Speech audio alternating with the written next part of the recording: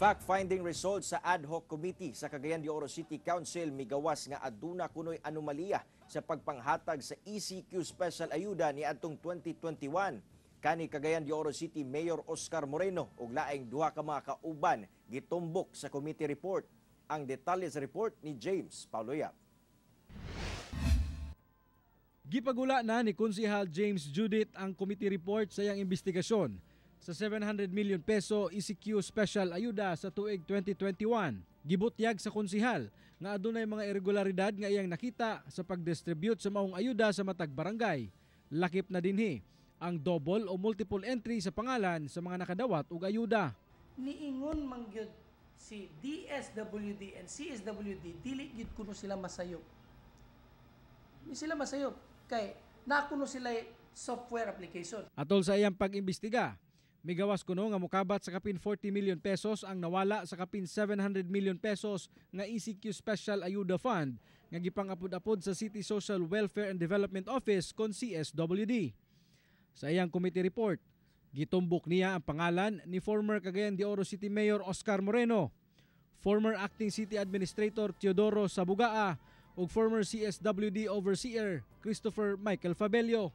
Madru- ma- matataw sa akong committee report ang tulo adunay tulubagon. Dili man nila ma-account. Wa ko nagingon nga giunsa na nila. Nagingon lang ko nga dili nila ma-account. Sa usa sa press conference, gitubag ni former City Mayor Oscar Moreno ug mga kauban ang maong aligasyon. Gitawag niya kini og irresponsible and careless allegations. Sumala pa sa kanhi mayor nga karaang issue na kuno kini ug nahuman na matud pa nila ang ilang liquidation report dito sa DSWD. Sa issue sa double entry, gihimuan na kuno nila kini og lakang pinaagi sa pagpadala og sulat sa mga recipients ug gipauli nila ang maong kwarta. And in fact, si Judith has been asked categorically by DSWD, by DCSWD, to come up with the evidence. Asa bang imong prueba?